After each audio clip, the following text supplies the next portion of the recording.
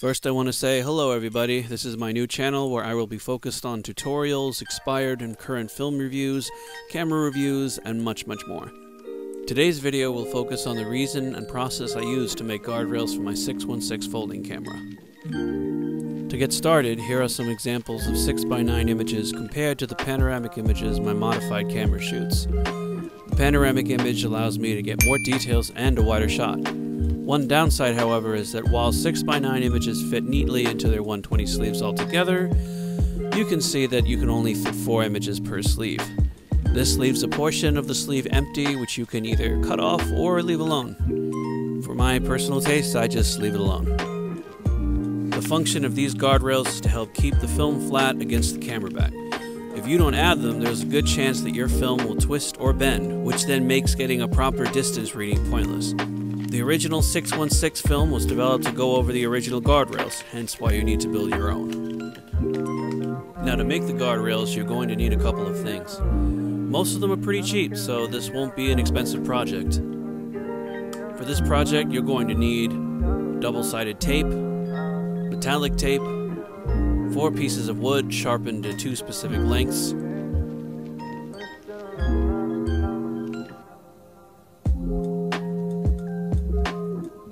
and a sharpened pocket knife or razor blade.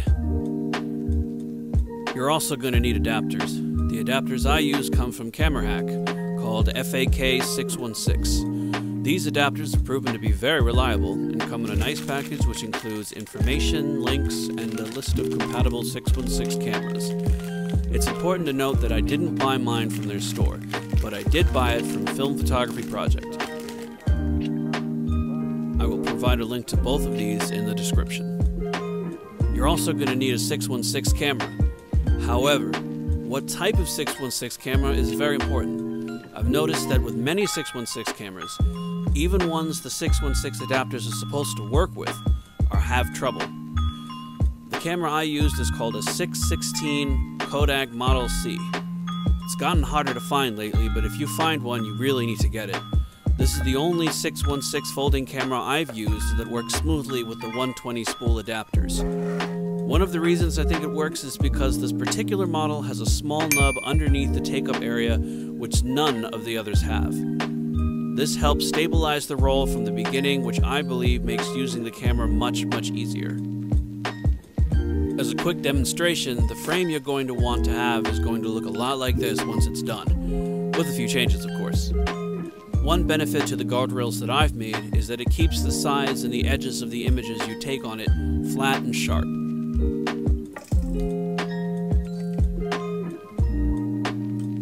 If you don't have the sidebars on, the sides of the images will be blurry and without much definition. With all that being said, let's begin. The first step to making the mask is to lightly, and I mean lightly, sand the tops, bottoms, sides, and edges of the wooden pieces. For this demonstration, I used a nail filer. The reason for doing this is so that when the tape goes over it, there are no bumps that could show up when the tape is pressed down, which could affect the image. Your main goal here is to get everything as smooth as possible. Once you're done with that, you're going to take the newly sanded wooden pieces and dip them into water. Now, I don't think this is necessary really, but it makes me feel better, and I think gets off a lot of the excess wood dust that may linger. I don't know. I'm just crazy like that. But um, once you finish that, you're going to want to dry them with a piece of cloth. For this example, I'm using an old shirt. After you've dried them off, the fun part begins. It's time for tape. This, however, is where it gets a little complicated, but I'll try and walk you through it. First, you're going to want to cut the tape so that there is a little bit of excess tape on either side. Then you're going to cut that piece in half because it's so shiny and I'm so blind I cut it in a pattern so I know which side is the straight side, like so.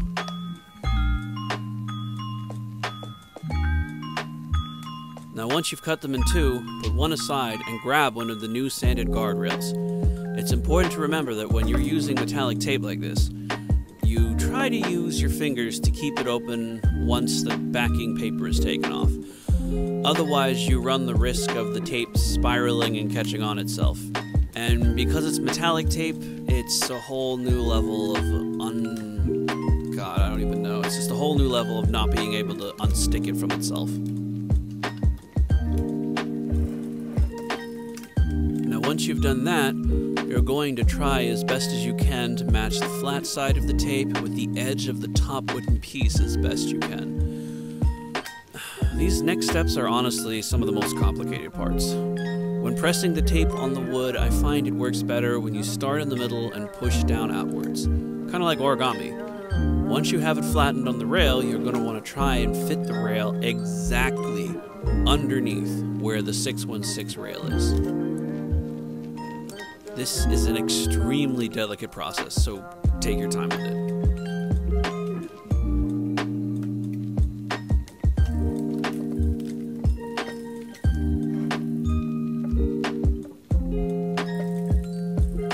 Once you got a position right, you're going to want to press the tape down on the 616 guardrails and around it. But be careful you don't tape the rollers on either side. Once that's done, you're going to take your pocket knife and cut around the edges. Make sure, I cannot stress this enough, make sure that what you're cutting it with is extremely sharp. This will hold the new railing in place. And once that's done, all you have to do now is repeat the process for the bottom rail. Once that's done, it should look something like this.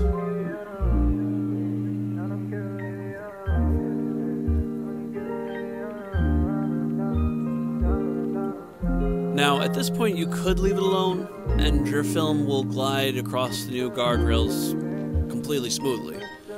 Um, this just, the whole point of the guardrails is that it allows your film to stay completely flat when exposed because if you don't have it in there, it's just going to completely mess up, and sometimes the spool goes crazy, and then it's just a whole mess. Now, the next part is important to me because I've noticed that without the side rails, you can get fuzzy sides on your negatives, and it can also lead to light leaks.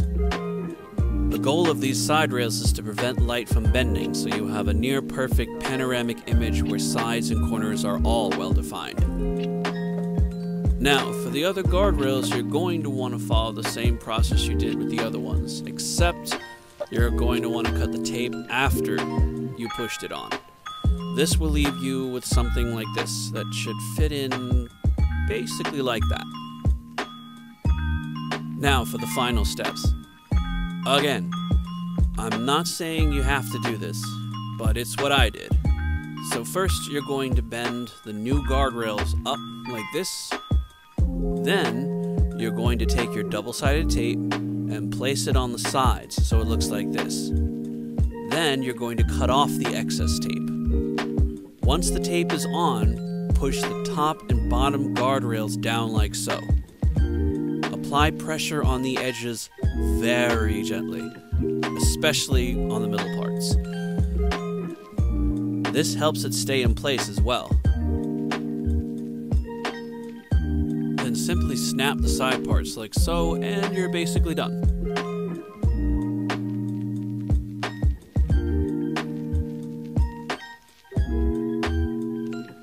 Once you completed the finished product, it should look something like this. Smooth, flat, and well defined. If you've messed up any of the steps, you can indeed remove the tape, but be very gentle when doing so. These cameras are old, and most of the guardrails are not that strong, especially this one in particular.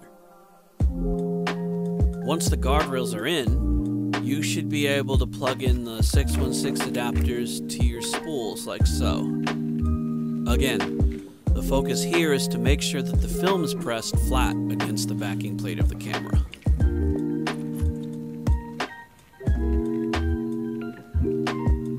When you finally develop your images, they should look something kind of like this. Notice how defined the image is? For me, this makes it a lot easier to scan and to print from.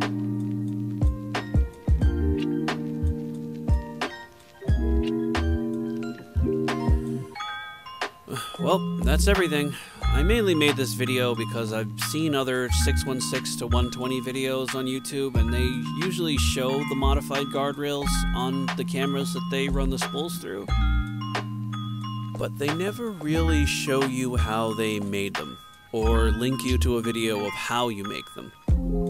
Which can get pretty frustrating. But um, that's another, again another reason I decided to make a video. But anyways, here is a short demonstration of the images I was able to take with my 616 camera with the added guardrails on the top, bottom, left, and right.